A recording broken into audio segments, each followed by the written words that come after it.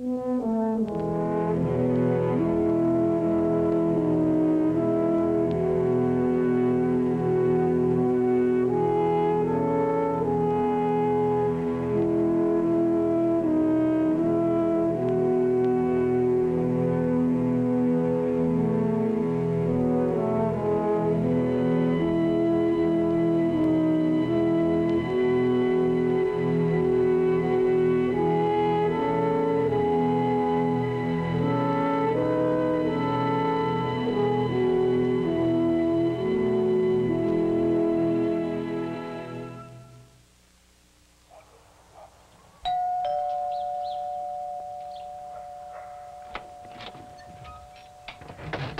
Why, hello, children.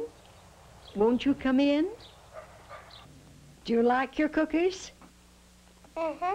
Do you like chocolate chips? What's your favorite cookie? Chocolate chip. Did you come here just because you wanted a cookie? Mm-hmm. Bless your heart.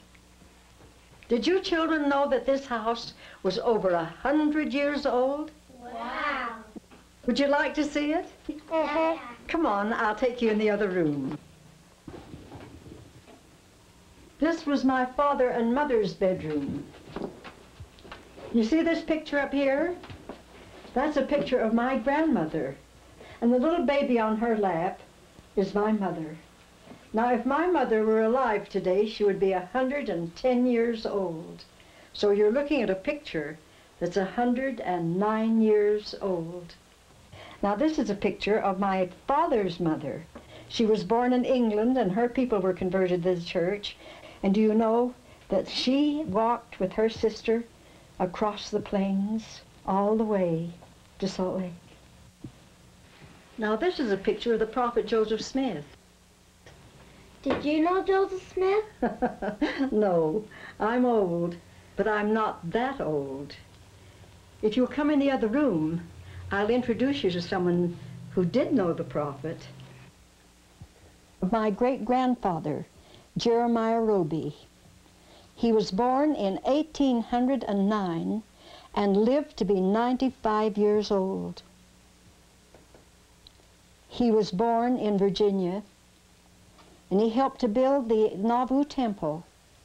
He was very devoted to the church and knew and loved the prophet Joseph Smith. And oh, how we used to love to sit by him or kneel down like you're kneeling down in front of me and listen to him tell about his acquaintance, his work, his life, his love for the prophet Joseph Smith. And night after night, he would sit and talk to us about crossing the plains, and about being baptized by the prophet. And we were so thrilled. Well, my brother Henry said one night, Pappy, was Joseph Smith a man? Why would he ask if he were a man? You know, when I was a little girl, they used to talk about angels flying through the sky and about elves and dwarfs and Uncle Sam and all of those characters that weren't real. They weren't real people. They were just stories made up. And so Henry repeated again, thinking that maybe Joseph Smith wasn't a man.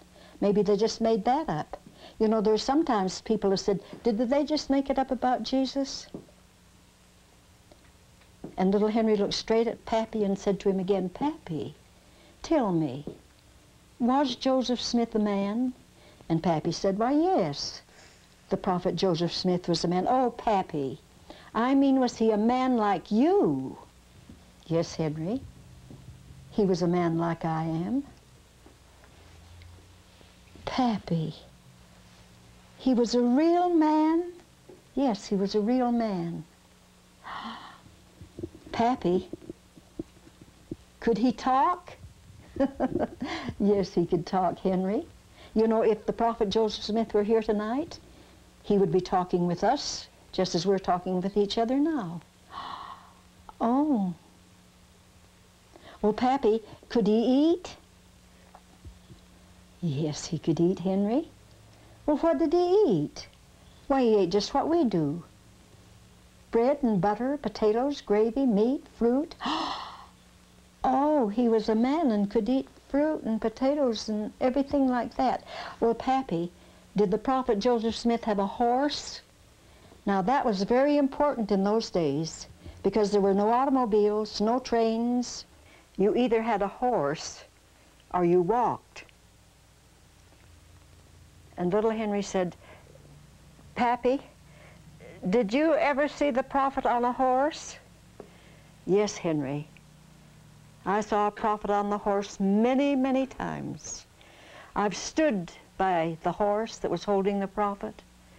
When the prophet held my hand in his, and sometimes we talked for hours about the church. And then Guy, the gentle, poetic little fellow, said, Pappy, you said that the prophet Joseph Smith held your hand. Hold my hand. And then little Guy looked down at his hand and he said, oh, my hand's been held in a hand that was held by the prophet Joseph Smith.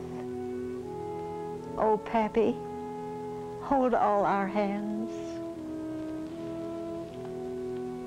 He held mine. Now, Amy, your hand has been held in a hand that was held in a hand that had been held by the prophet Joseph Smith. Your hand is being held in a hand, darling, that was held by the prophet Joseph Smith. John John, your hand is being held in a hand that was held by the prophet Joseph Smith.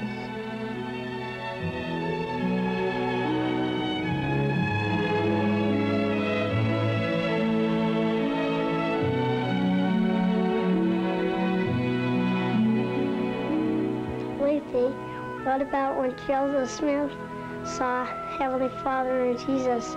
Were they real men too? Yes, they were real men. We were created in their image and in their likeness. Jesus is the Son of God. But you know, the people didn't know that, and they thought of him as just a man. But Jesus is the Son of God. God and Jesus are real men.